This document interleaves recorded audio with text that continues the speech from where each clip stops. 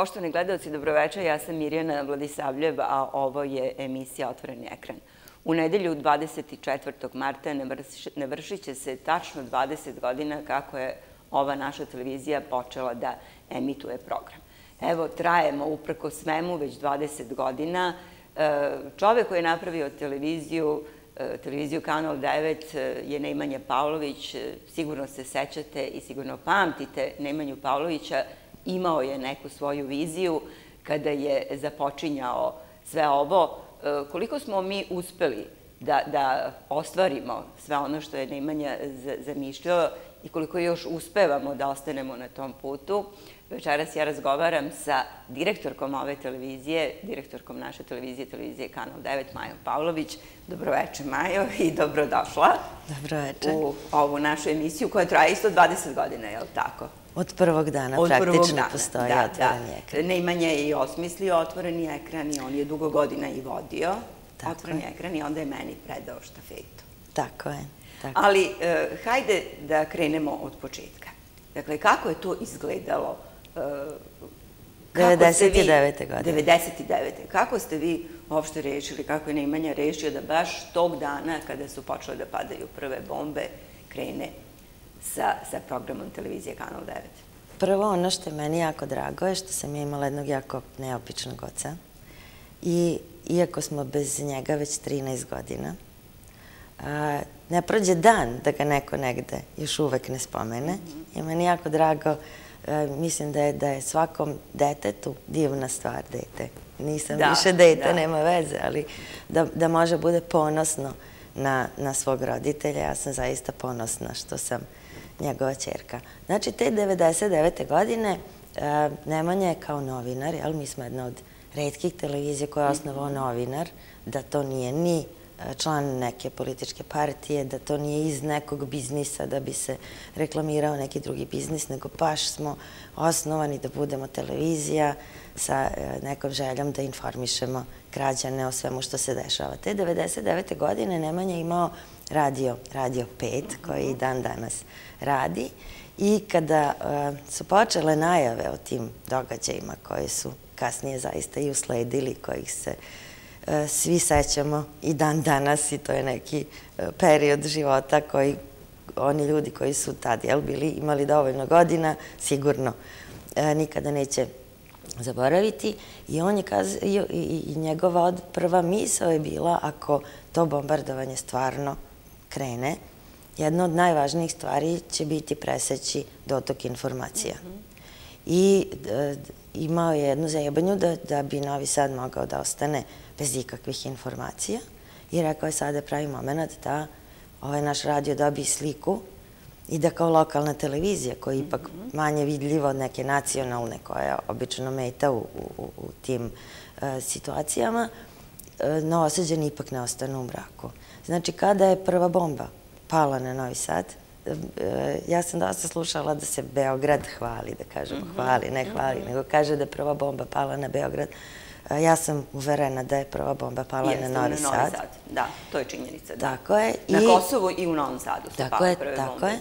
I on je rekao, mi, sada je moment, mi krećemo. Novi Sad ne sme da ostane u mraku. I to je bila i njegova vizija. Znači, Novi Sad ne sme da ostane u mraku. Novi Sad mora da ima mesto e, sa kojeg će se širiti informacije onakve kakve su.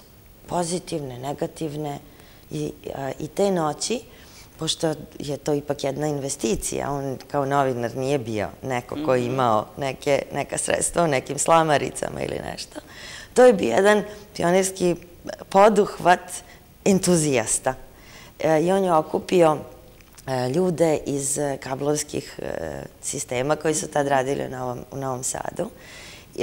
I oni su pokušali da naprave jedan signal.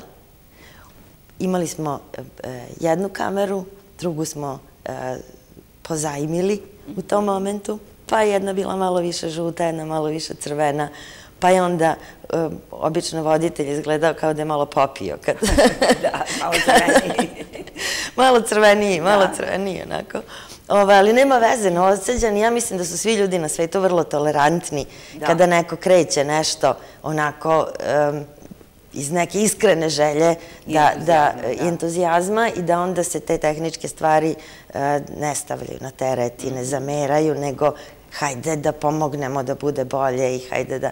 I to je bilo jedno vreme kada smo svi imali neki, ali stvarno polet gde e, na bilo koju stranu kada se ovaj, Nemanjo krenuo za neku pomoć, pitao za neku pomoć, uvek je bilo može, hoćemo, hajde, da vidimo kako može, znam ja ovog koji će obezbediti to sve što treba, ono, tako da je to krenulo vrlo skromno, ali je zaista, e, kada se desilo, jel, da su sve ostale televizije prestale sa emitovanjem programa, Kanal 9 bi jedina televizija koja je emitovala program I gde su građani mogli dobiju prave informacije i u pravom momentu, da.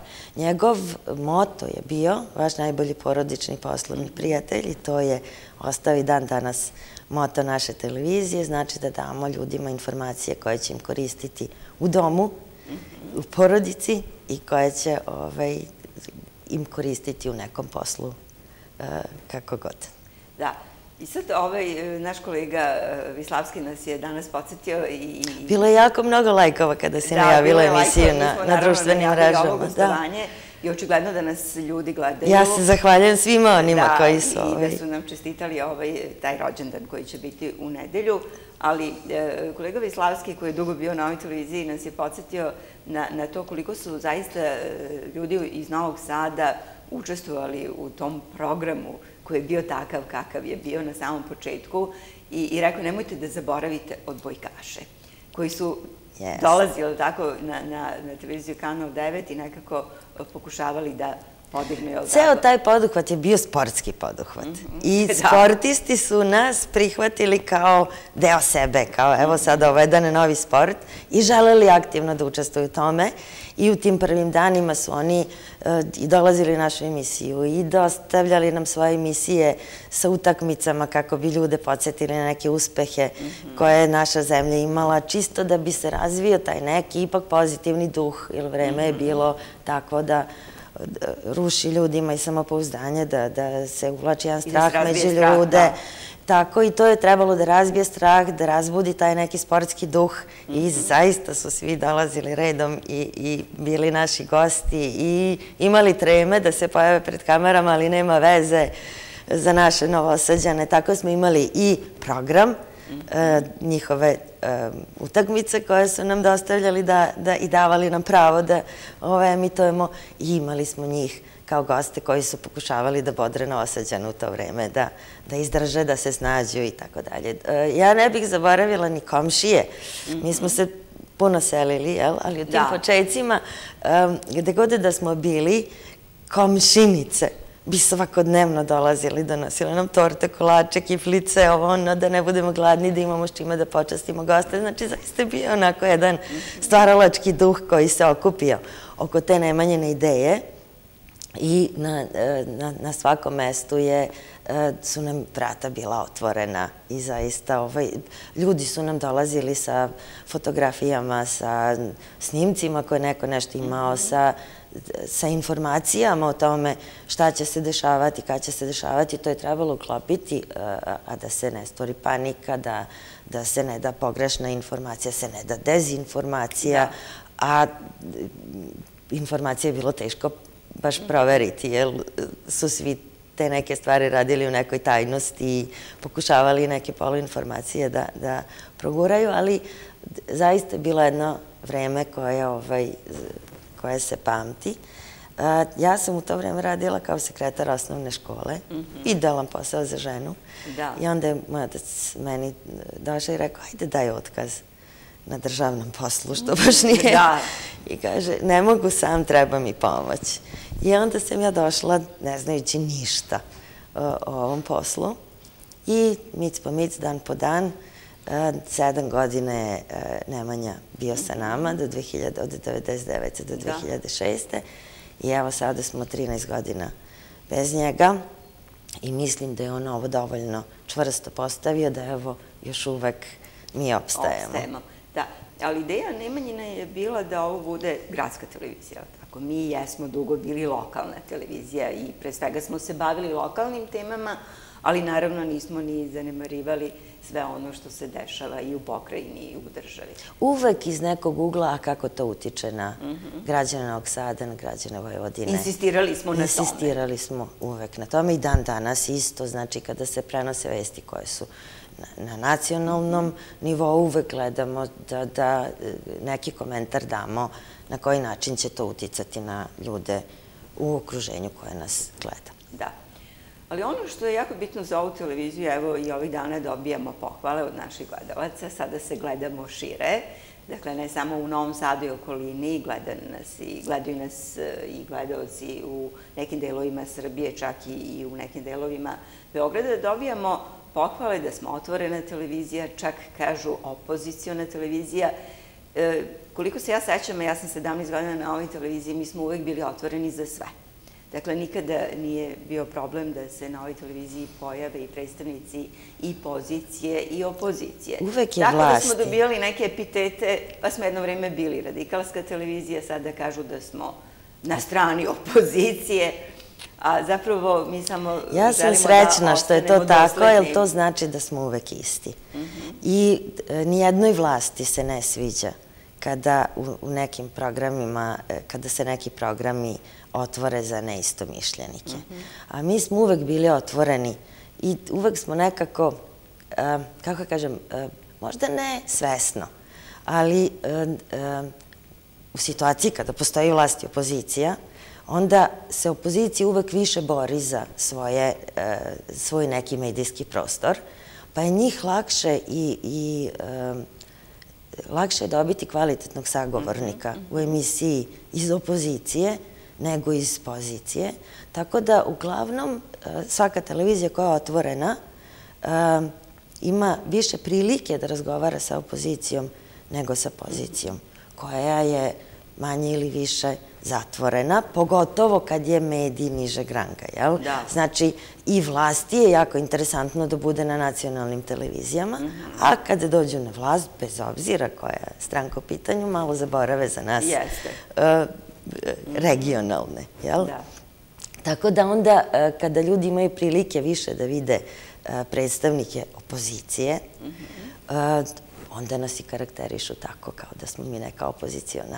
Mi jesmo opozicijona u smislu, otvoreni smo i za opoziciju, ali nismo stranački opredeljena. Mi nismo ni za nekoga, ni protiv nekoga. Mi smo jedan poligon, jedan prostor u kome, uz pomoć kojeg neke informacije e, dolaze do naših sugrađana onakve kako to naši gosti njima prezentuju. Ja sam rekla i mojim novinarima i mojim voditeljima i tebi, da eh, bih ja najsrećnija bila kada posle emisije niko ne bi mogao da kaže Mira je demokrata ili Mira je SNS ili Mira je... Znači, e, mišljenje voditelja nije bitno emisiju. Emisija e, ima za cilj da iznese mišljenje Kosta, a voditelj je tu da usmeri razgovor i da otvori teme koje smatra interesantnim za naše gledalce. Da. Ali ovih dana možda nam neki zameraju što prenosimo mm, proteste koji e, se trenutno dešavaju u Srbiji. E, Ali to su nam uvek zamerali. Mi smo isto tako prenosili i proteste Tome Nikolića, Skiroporske, Srpske radikalne stranke. Da li će se sediti gledalci, pa su nam i to zamerali. I to su nam zamerali, jeste, jeste. Proteste koje je organizovala Srpska radikalna stranka. Protesti se dešavaju. Mhm. To je činjenica. To se dešava. Da ljudi imaju pravo da imaju vid koliko mi to sada... Ali da nema opet kao 99. da nema televizije kanal 9, mnogi novosuđani ne bi ni znali šta se dešava. Zato što oni koji jesu na društvenim mrežama, oni vide ono što se dešava u Beogradu, ali oni koji nisu na društvenim mrežama ne znaju šta se dešava. Ono što je meni malo tužno, a pričat ćemo i o e, javnim raspravama u mhm. vezi sa donošenjem medijske strategije, ali jedna stvar je se bitno promenila. Znači, ranije su ljudi sami određivali raspored kanala na svojim TV prijemnicima.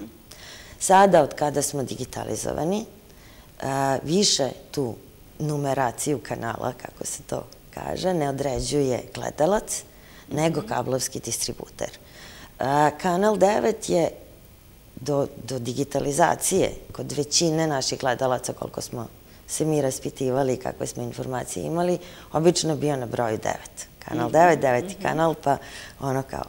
E, sada smo mi vrlo skrajnuti i lokalne televizije u Novom Sadu se nalaze recimo na SBB-u na 342. kanalu je kanal 9, e, što nije problem da je 341 puni kanal pre nas, mhm. nego imate gomilu kanala sa onim katancima, zaključanim programima, jer oni razmišljaju profitno i na taj način kada sad čovek vidi neki zaključani kanal, a ide po kanalima, znači neće da ih stave na kraj, nego te katance stavljaju između da bi mhm. e, inicirali ljude da doplate te dodatne kanale.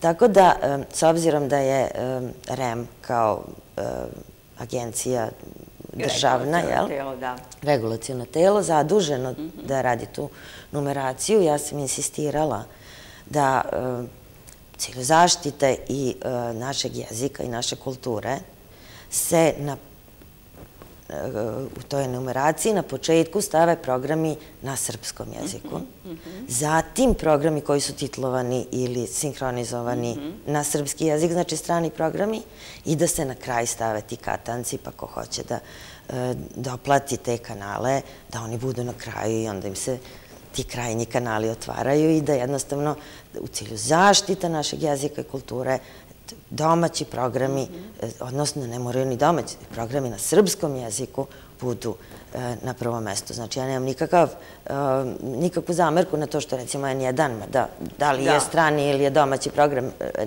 nebitno, mhm. on je na srpskom jeziku i on treba da bude na početku te, na početku enumeracije kako oni odluče, to sad nije do nas, jel, kako se dogovore i sve to, ali mislim da je malo tužno da e, se lokalni programi stave i to je Novi Sad, nije tako svuda. Mhm. E, u Južnoj Srbiji su i dalje lokalni kanali napred, mhm. ali u Novom Sadu izgleda je e, vlast procenila da je bitnije da se gledaju ovi kanali koji su, a ne lokalni kanali koje možda malo teže drže pod kontrolom, ne znam. Da, ali to jeste zanimljivo. Sad slušam i razmišljam o tome koliko je bilo tih lokalnih televizija u Novom Sadu pre nekoliko godina. Sada ih je manje. E, mi smo uspeli tako da opstanemo bez obzira na sve probleme sa kojima se suočavamo. E, ne bih ja upotrebila taj izraz da se guše e, uslovno rečeno mali mediji, ali nestaju mali mediji i nestaju lokalni mediji, a oni su vrlo značajni i bitno je da postoje. Pazite ovako, Evropska unija je e, odradila jedno istraživanje mhm. medijskog tržišta u Srbiji. I tu koliko god mi to bilo teško, ja moram da se slažim sa njima, da u Srbiji ima previše medija i da broj medija treba da se smanji. Po toj nekoj njihovoj analizi za normalno ekonomsko funkcionisanje u Srbiji e, nema prostora za više od tih 5-6 nacionalnih i 13 regionalnih, pričam o televizijama. 13 regionalnih televizija i da je to sasvim dovoljno. Da je u Novom Sadu previše da ima 4-5 televizija. A bilo je i više. A bilo je i 10 i 12. Da, sada je... E, tako da, e, možda zaista ima previše medija. Mhm, mhm. Okej. Ali ono što, e, sad se opet vraćam na tu javnu raspravu, jer je to bila prilika da vidimo mhm. uopšte kakva je medijska scena trenutno u Srbiji, moj najjači, ja sam mislila da ću tu čuti nešto o tome kakav će biti položaj, šta su planovi i sve. Moj e, najjači utisak je nešto potpuno drugačije. Znači, ono što sam ja videla i čula tamo, a za razliku, pošto smo mi bili e, i na svim javnim raspravama kada se donosila i prošla strategija i kada su svoje zakon o radiodifuziji prvi, gde se ta naša oblast e, prvi put zakonski regulisala, Te prilike su se organizovale u Skupštini Vojvodine, koja je bila prepuna, nisu mhm. mogli da dišamo, bilo je baš onako zagušljivo, smo svi bili zainteresovani da vidimo šta će se dešavati i kako ćemo se mi u celoj toj priči snaći. Sada e, sam ja bila na četiri javne rasprave. U Novom Sadu ona nije bila u Skupštini Vojvodine, nego u Skupštini grada Novog Sada, u sali Skupštine grada Novog Sada, koja je bila poluprazna. U Čačku i u Nišu je isto, u Čačku je bilo kao jedna veća učionica i kohor osnovne škole, ono, dva reda mhm. stolica, smo sedeli mi, neki novinari. Moj neki zaključak je ovako, a, što je nelogičnost, broj medija u Srbiji se povećao. Znači, mhm. trenutno, pod tim nekim informacijama koje sam dobila na javnim raspravama, u Srbiji trenutno ima oko 2500 medija, a s druge strane oko 1300 novinara ostalo bez posla. Mhm. Pa sad to meni nije logično. Ako se povećao broj medija, kako se smanjuje broj zaposlenih novinara, nešto ne valja. I moja neka pretpostavka, mi nismo pravili istraživanje, ali ja ću inicirati sa određenim i e, organizacijom koja se bave statistikom da bi to zaista probali da dobijemo neke relevantne, e, zaista relevantne podatke. E, moj utisak je da u Srbiji sada postoje tri vrste medija. Prvo mediji koji su kupljeni od strane vlasti i koji u stvari ne služe da informišu radnike nego da reklamiraju vladajuću partiju. Drugo, oni mediji koji su zainteresovani da informišu i koji su bili na tim javnim raspravama. I treće, novo formirani mediji, uglavnom online portali koji služe kao protočni bojleri da bi uzimali sredstva koje se na konkursima za sufinansiranje medija raspisuju, koji ni ne realizuju te projekte, nego samo služe da registrovani su na način da ispune uslove da mogu da učestvuju na tim konkursima, uzmu pare i za ta sredstva se ne informišu ljudi, ne naprave projekti od javnog značaja, javnog interesa, nego se te pare raspodele na neki njima znani način. E, tako da e, ono što ja želim da napravim je da vidimo koliko ima televizije u Srbiji danas, koji su stariji od sedam godina, a da nisu promenili vlasnika. Mhm. I ja mislim da tih medija neće biti više od sto, možda sam e, mnogo rekla. A mislim da su to mediji koji još uvek imaju želju da informišu građane. Da. E, u proteklih 20 godina zaista je bilo i tih nekih boljih perioda za medije i za televizije posebno, ali i teških. E, čini mi se da su ovo dosta teška vremena za medije. E, kako, evo ja moram da te pitam, kako mi uspevamo da obstanemo? Prvo. Koliko je teško danas? Prvo ovako, ja to... televiziji kao što je naša, da obstane? Ja to teško ne priznajem. Dobro. Ja, moj stav neki je da sve izazove koje nam život stavi ispred nas treba priglediti kao najveće bogatstvo koje imamo u životu, jer samo će nas oni učiniti da otkrijemo neke svoje nove granice, da se da otkrijemo koliko smo prilagodljivi, koliko možemo da da imamo dobre ideje, da iznađemo način da opstanemo. Znači, ne teško. Ne bih ja bila u ovom poslu 20 godina da smatram da je on težak. Kome mhm. treba teško. Dobro. Ovo je jako interesantan posao. Ovo je posao gde nikad ne znate šta vam nosi novi dan. Gde imate priliku da sretnete sve te ljude koji e, su nadležni da odlučuju o našim sudbinama, da nam donose neke zakone, da vode ovu državu, da ih sretnete iza kamere, da vidite kakvi su oni zaista ljudi, kako razmišljaju, da osetite tu neku njihovu energiju, da kažete, a ovde je ovde, ovde me čovek nešto uverio. Inače, to bih isto želela, ovaj, e, jako interesantan stav sam čula e, od jedne moje prijateljice koja, koja sam je rekla, nešto smo se e, sukobile u nekom stavima i kažemo, ubedit ću ja tebe da je ovo što ja kažem ispravno. Ona kaže, nemoj da mu ubeđuješ. Zato što nas svi u nešto ubeđaju, mi živimo u ovakvoj bedi. Nemoj me ubeđivati, uveri me. Mhm uvedi me u veru, a ne u bedu. Da. Tako da ovaj, ja želim da uverim. I da nam gledalci tako veruju. I da nam gledalci veruju. Da. E, mi smo ovde zbog e, naših gledalaca.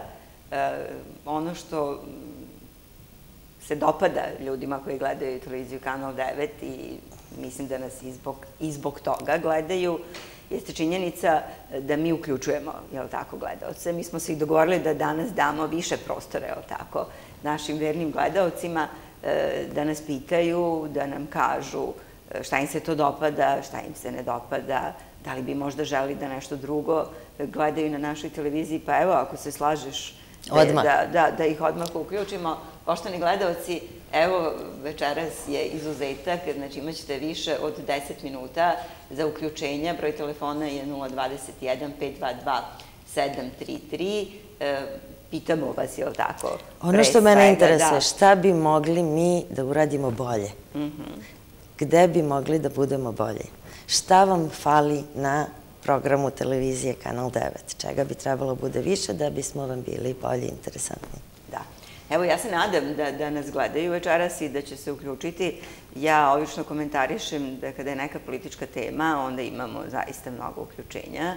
E, a opet kada govorimo o nekim drugim stvarima, ljudi kao ne imaju šta da pitaju. Međutim, smatram da ovo jeste ovaj, e, zanimljivo da čujemo od naših gledalaca šta im se to dopada, šta im se ne dopada. Otvoreno možete da kažete i šta vam se ne dopada, pa ćemo se mi truditi da to promenimo. Umeđu vremenu, dok se neko ne javi, e, a u vezi sa tim uključenjima gledalaca, ono što jeste činjenica, sad da li nam ljudi veruju ili ne, mi zaista ništa ne cenzurišemo na ovoj televiziji. Ja, otkad radim na ovoj televiziji, ja kao novinarka i voditeljka nikada nisam bila cenzurisana. A tako i naši gledalci koji se uključuju. Tako je. A već imamo nekoga, pa ćemo onda o toj cenzuri. Dobroveče, izvalite. Dobroveče, zovem se iz okoline Vršca. Samo da vam kažem šta nedostaje. Nedostaje mnogo više ovakvih emisija i vas kao voditeljke i mnogo, mnogo više ovih termina i repriza. Znači, gledate nas i u Vršcu? Da. Da li imate možda neke slične ovaj programe, da li možete da gledate u Banatu? Pa vrlo redko gledam TV, pravo da vam kažem, jedino što mogu da vidim je kanal 9, jedino gde mogu nešto da vidim je kanal 9. Mhm. Drago mi je što nas gledate u Vršcu, hvala vam. Odlična sugestija, jeste.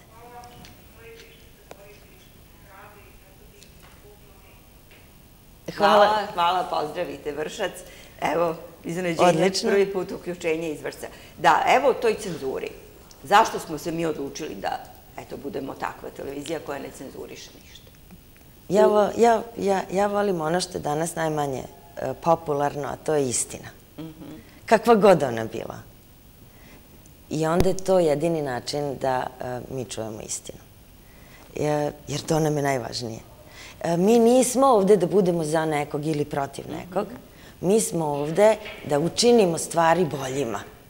A kako možemo da vidimo da nešto treba da bude bolje ako ne dobijemo sugestiju da nešto nije, da bi nešto moglo da bude bolje? Ali ne dozvoljavamo li tako vriđanje gostiju, to onda prekidamo, to već ovi gledalci koji redovno gledaju ove emisije znaju. Izvolite, dobroveče. Dobroveče i srećan vam rođendan. Hvala. Želeo bi da obstanete i da ostanete ovakvi kakvi ste nezavisni, kritični i prema jednima i prema drugima. E, ovaj narod u Srbiji je pun razočarenja šta se sve dešavalo u poslednjih 30 godina na medijskom nebu Srbije, koliko je kuća u kojoj su se građani kleli, kompromitovalo se, samo da ne pominjem B92, Studio B, 9. marta je bio na usnama nas demonstranata. Voleo bi da vas ne ukinu, ne znam. Dobro. Eto, možda se otvori kladionica kad će ovaj, ovaj, ovaj ološ da vas ukine. Dobro, nemojte tako. Hajte da ne budemo grubi. Dakle, ne znam... Budemo pozitivni. Da, ali bilo je momenta kada se nismo videli. Činjenica je da je bilo nekih momenta, hoćemo o tome da govorimo ili ne da se podsjećamo, što ti kažeš... Bilo je moment, zašto ne? Kako si rekla, nećemo da govorimo da je teško. Nije teško, to je bio jedan izazov. Bio je moment kada e, vlasti se ne sviđa to što smo mi otvoreni. I oni bi uvek voleli, ali svakoj vlasti, oni bi uvek voleli da imaju više kontrole. Ko će nam biti u gostima, o čemu će se pričati, da ih što više hvalimo, a nije uvek sve za hvalu, mora nekad nešto i da se kritikuje. i naš signal je bio ugašen. I to... Halo, izvalite, izvalite. Da, dobro večer, izvalite. Dobro večer, ja zovem iz Subotice, gledam vas na Kablovskoj. I, I samo imam jedan problem, ne znam kad su koje emisije. Nemate tamo ispisano, a ne, mo, ne mogu vidjeti nigde, ne mogu dojde informacija. A inače ste jako dobri, nekadašnja bivša Subotica je bila ovako dobra. I samo tako napred. Hvala, hvala vam. Hvala vam. Da, ovo je dobro pitanje, program. I mene često ljudi pitaju. E, nekada, ja mislim da u dnevniku da je bilo tako, ovaj program televizije Kanal 9, sad ja ne čitam... Sada više nema. Znači, ni nema. Da. Ali ovaj, ne znam, e, da li... Da li... Evo, to je, to, je, ovaj, to je nešto što ćemo mi morati više u našem mhm, programu. Mhm.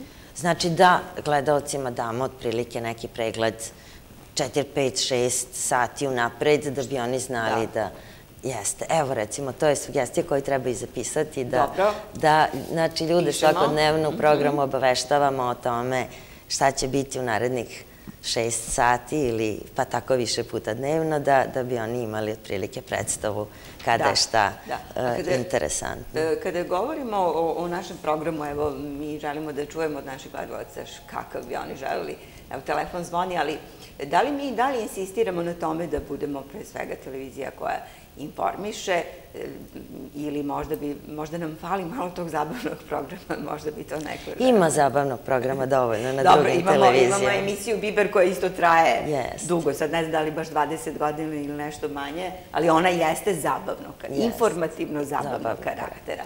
Da, dobroveče, izvolite. Dobroveče, izvolite. E, ja vas pozdravljam, čestitam rođendan, nisam ni znala da je 20 godina. Jeste. Kažite. E, vidim vas e, vrlo dobro, u, iz Novi Banovaca se javljam. Dobro. Znači i Srem nas gleda. Da. Dobro. Da. I samo tako nastavite, a... Molim? E, izvolite, kažite, gospođo. Nema problema. Sve najbolje. E, hvala, hvala. Evo jedno vrijeme, e, znam da naš Srem baš nije gledao. To je bilo ranije pre digitalizacije, ali tako, zbog valjda Pruške gore su bili oni mogućeni. Sada jeste, jeste pokrivenost. Mhm. ovaj, prvo što više nismo lokalna noseska televizija. Mi emitujemo sad Crvenog čota i mhm. praktično cela Vojvodina sem jednog malog dela tamo. Subotica, Vršac. E, Ma je znači, sad da gospodin i Subotice zvao. Jeste, ali putem kablovskih mhm, e, operatera iz etera e, malo teže mhm. nas tamo vide, ali se vidimo recimo u jednom delu Slavonije, u jednom delu Republike Srpske. Čak i u inostranstvu. A putem kablovskih distributera se vidimo i u centralnoj Srbiji, vidimo se putem jednog kablovskog distributera iz Austrije, čak i u, ne znam, Australiji, mhm. Americi, Imali smo jedno uključenje, čini mi se, iz Kanade. Kanade, jeste, jeste, jeste. To je zato što imamo ovaj, i live stream. Ali, nažalost, IPTV nas više ne emituje. Mi dajemo sve od sebe da se ponovo vratimo i u IPTV mhm. i očekujemo odgovor neki od direktora, pošto tu ima jedna zakonska odredba koja nas malo čuva i štiti, da distributer ne sme da odbije distribuciju e, jednog medija. Mi smo se pozvali na tu zakonsku odredbu i ako Telekom posluje u skladu sa zakonom, ja očekujem da ćemo mi naći načina da e, budemo ponovo distribuirani, da naš program bude ponovo distribuiran i u IPTV-u. Da. Evo sad moram da izvalim. Da. Htela sam kažemo na izazov koji smo imali, da jednostavno e, nama ništa nije problem. E, nego uvek gledamo kako da rešimo neku izazovnu situaciju. Kada je naš program bio ugašen, e, mi smo pronašli jedan oblik građanske neposlušnosti uz pomoć koje smo e, primorali vlast da sasluša naše argumente i oni su te argumente uvažili i mi se ponovo, ovaj, ponovo se naš program vidi. A od tih interesantnosti na koji način ja to moram sad e, i, i u cilju zaštita malo naših kolega, drugih koji rade na lokalu, da kažem da danas imamo situaciju gde što je mediji niže, e, kako kažem, manji, to je pritisak na mediji veći. Znači, dok se vlast nadomudruje sa novinarima iz nacionalnih medija, to im je jako interesantno da ispadnu duhoviti, da ispadnu pametni sve, ovde na lokalima su to zaista pritisci koji su nekad Mene uopšte ne čudi zašto je upravo našem kolegi na lokalu zapaljena kuća, a ne nekom novinaru iz nekog nacionalnog medija, tamo se to ne radi, a na lokalu e, to ume da bude onako vrlo, vrlo ovaj, surovo. Tu su i fizički pritisci i ekonomski pritisci. Tako sam ja na tim javnim raspravama, gde je bila prilika da to čuju svi oni koji su prisustovali javnim raspravama, a bilo ih iz Evropske unije, iz OEPS-a i jel, svi oni su pa i predstavnici naše vlasti i naše opozicije koji su ovaj, tu bili da čuju kako je stanje u medijima, sam ja navela nekih devet, evo, sad ih ovdje imam da nešto ne zaboravim, jel? Pritisaka koje, koje recimo, trpe lokalni, regionalni mediji. Znači, prvo da javna preduzeća nam otkazuju ugovore, gde, a ona su dužna da obaveštavaju javnost o svom radu, pa je to bio neki način da mi imamo neka sredstva koliko košta to oglašavanje jel, kod nas da bi se iznale te informacije koje su oni po zakonu dužni da daju svojim građanima. Jeste, tako je. Znači, ti ugovori nam se otkazuju. Na konkursima za medije ne dobijamo sredstva ili su ona desetostruko manja nego e, ranije. Kablovski distributer IPTV, koji je državni, nam je ukinuo pravo na distribuciju. Privrednici ne smeju da se reklamiraju kod nas. Imali smo devet inspekcija u zadnjih e, godinu i po dve dana. Znači, napravit će od nas najispravnije preduzeće u Srbiji. Stani, gdje si stala pa da uključimo gledalca? Može. Dobroveče, izvolite. Dobroveče. Izvolite, gospodine. Srećan rođendan. Hvala. Najmedenija emisija. Hvala. Kod vas je jedino što može da se uključi i da se porazgovara sa vama. Sam bih voleo da se može tri puta nedeljno da ova gospođa što vodi, da ne bude samo dva puta. Da, da se čuje u vezi ove lopunske države koja vlada nad nama, koji moram da plaćamo tu televiziju, a ne bi da plaćamo za vas i samo za televiziju Šabac. Jer kod nas u Šabcu je, ja i Šabca zovem, kod nas u Šabcu je jedino Šabac gdje možemo da vidimo šta se dešava i to je pravedno pričanje i kod vas. U ostalim televizijama nema ništa. Bilo je vas koji je bilo isto šabačka televizija, pa su je naterali kao i vas ostale nateraju da budu uz vlast i oni su prihvatili to. Vama svaka čast što niste želi tim da budete uz tu vlast. I malo ime ovih svih televizija, Happy-a, Pink-a i da ne pričam u Novom Sadu, ja imam nekih na tih novosadskoj televiziji, neki 5-6 stanica koje su uglavnom kad god je Vučić, gdje god se nalazi Vučić, da li je u Negotinu, da li je u Novom Sadu, da li je kod nas u Čancu, kad je dolazio, dolazio kao jedan, ja kod nas u selu kade, ako ne vođi sa gazom, što dolazi kod njega kući.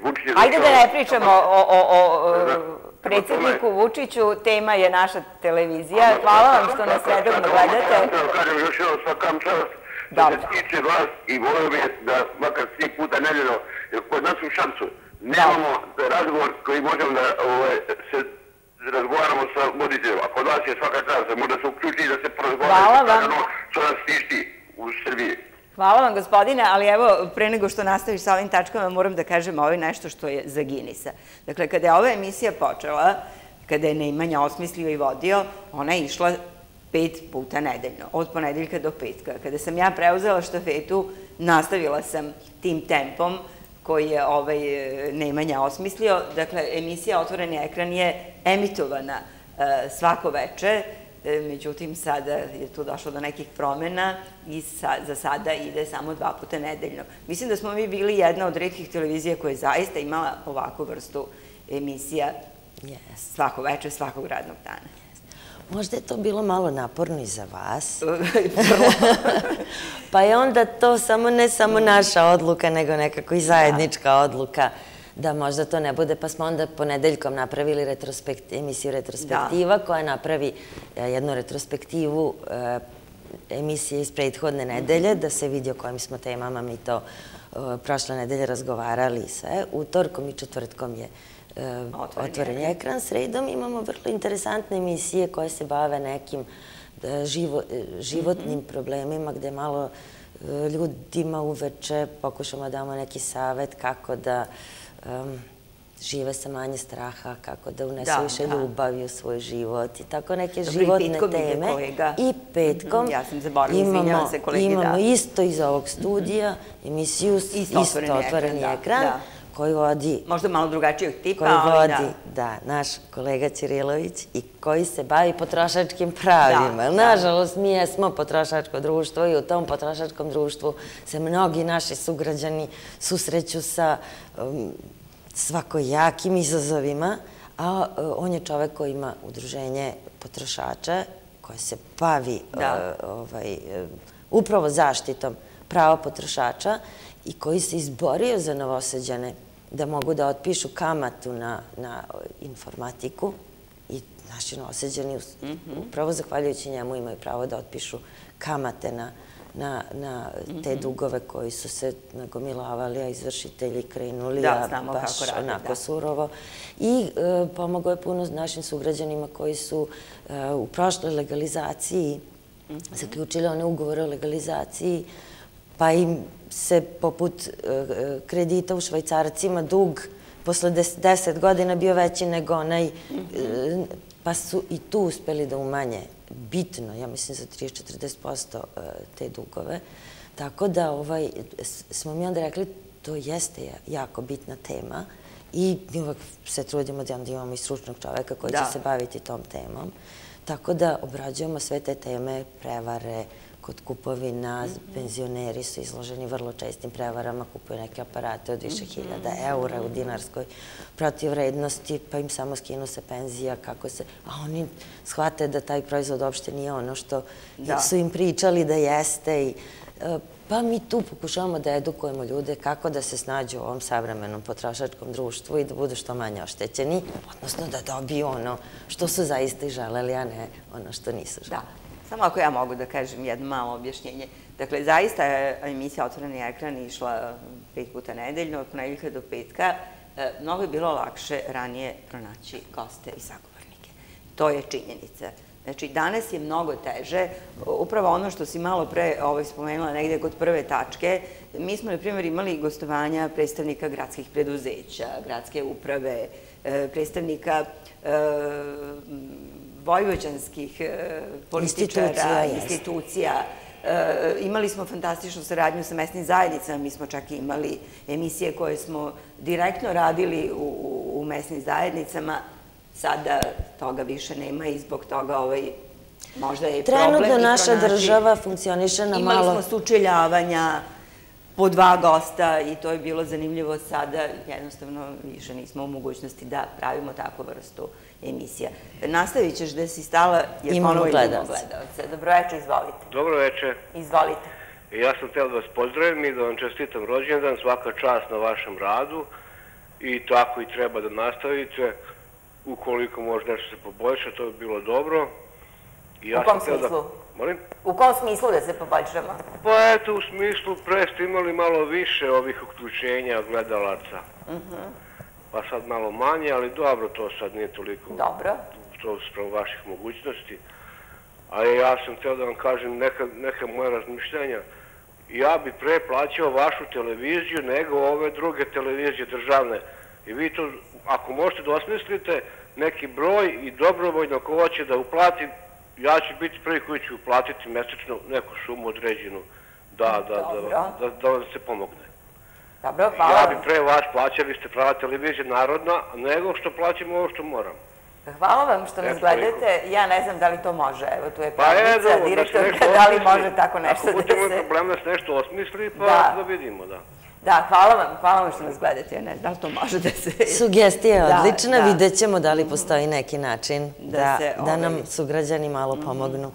Da, ovaj, jer svaka pomoć bi nam svaka pomoć uvek dobro doće. E, gde se stala kod koje tačke? Upravo to, da privrednici ne smiju da se mhm. reklamiraju kod nas, jer većina privrednika opet mora da bude u nekim dobrim odnosima sa sa onima koji su na vlasti i onda im mhm. se zamera kada se reklamira na televizijama koje ne podržavaju e, samo e, jedan stav, nego su mhm. otvoreni za različite stavove. E, rekla sam inspekcijske kontrole, devet inspekcijskih kontrola smo imali. Dešavaju nam se čudne nezgode. Imali smo dva požara, vrlo čudna, u blizini televizije, ali imamo gledanje. Imamo opet nekoga na vezi. Dobroveče, izvolite. Dobroveče. Izvolite. Dobroveče, još jednom pozdravljam vas iz Novog Sada. Vrlo smo zadovoljni sa vašom televizijom.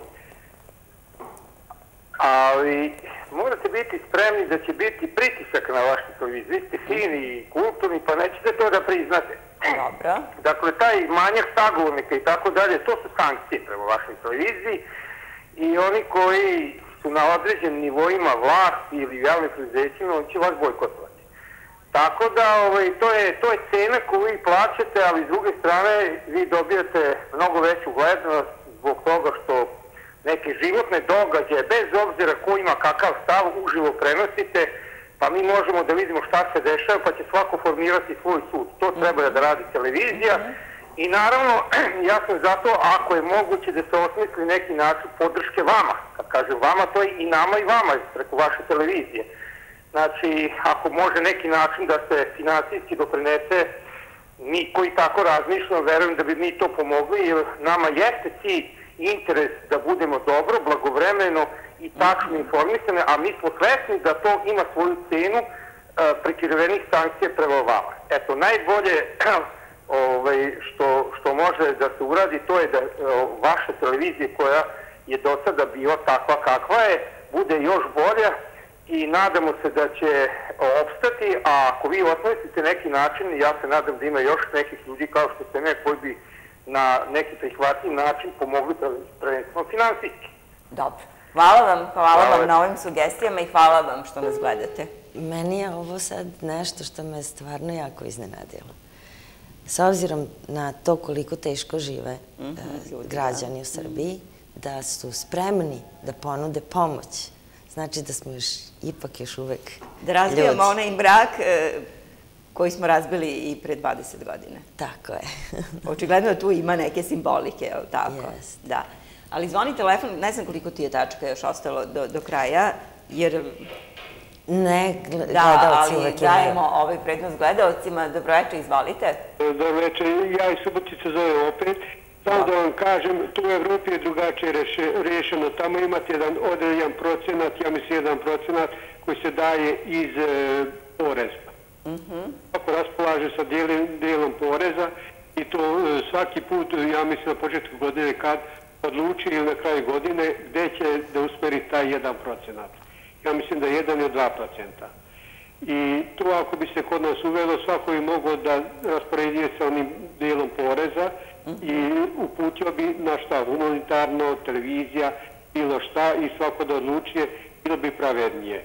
U, u Evropi postoji taj sistem, samo se raspitajte i samo kod nas da se uvede i bilo bi lijepo rešeno. Dobro, hvala vam, hvala vam na savjetu. Postoji i kod nas, sva novinarska udruženja su se borila za 1 ili 2% mhm. iz budžeta lokalnih samouprava da se izdvaja za medije i oni su to dosta uspešno izvojevali tu pobedu i zaista lokalne samouprave izdvaja 1 do 2% za e, projekte medijske, ali nažalost ta sredstva ne odu medijima, nego odu tim protočnim bojlerima.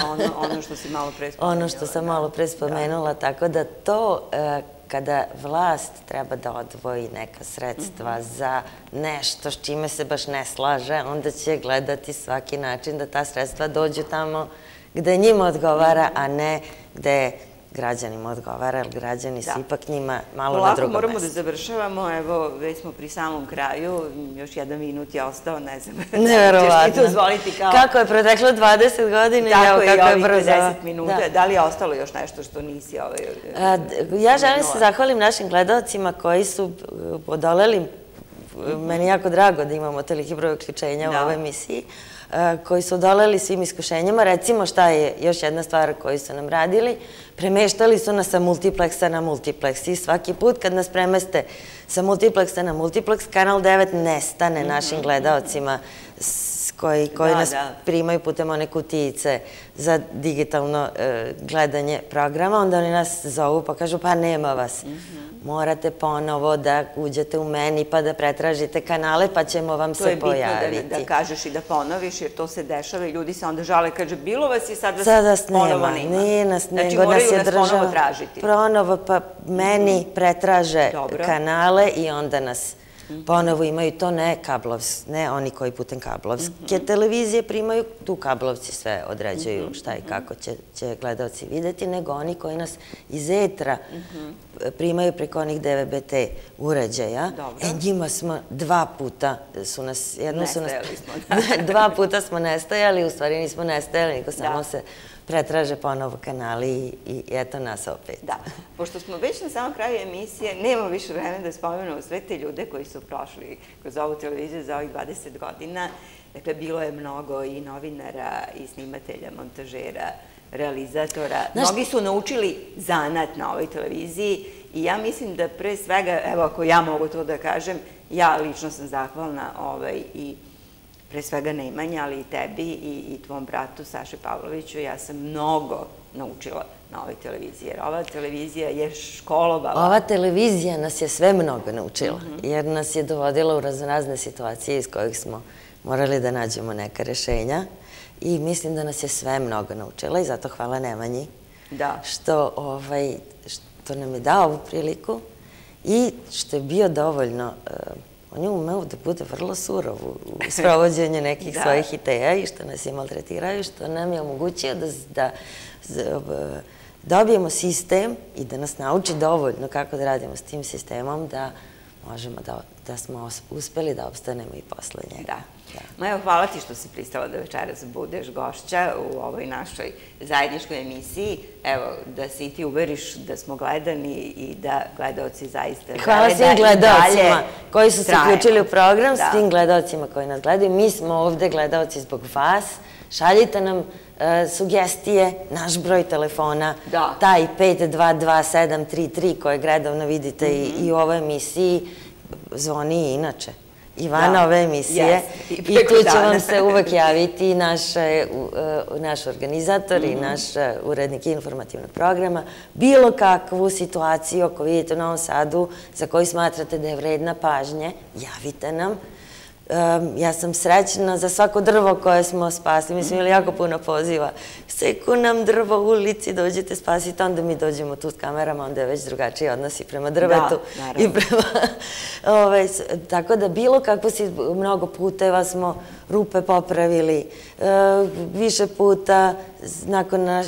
Jer nas vlast gleda i nisu oni neosetljivi, bez obzira što ne vole da se kaže da nešto baš nije onako kako treba, ali imam utisak da imaju dobru volju kada vide da mediji ovaj, određenu temu e, ističu kao važno za građane da odgovore na taj naš zahtev i da poprave i ulicu i da zakrpe rupu i da istrtaju onu crvenu liniju tamo kod e, rafinerije na onom mhm. semaforu gde ljudi ne shvataju da treba stanu na crvenu liniju da bi se upalilo zeleno mhm. svetlo i puno drveća smo, kažem, spasli, popravili puno životnih priča, ispričali e, ljudima koji se teško je živeti danas u Srbiji. Bilo gde i bilo šta, ako možemo pomognemo, tu smo, obratite nam se i mi ćemo snimiti vašu priču, obvestiti ljude da nešto treba se menja i da nešto treba bude bolje.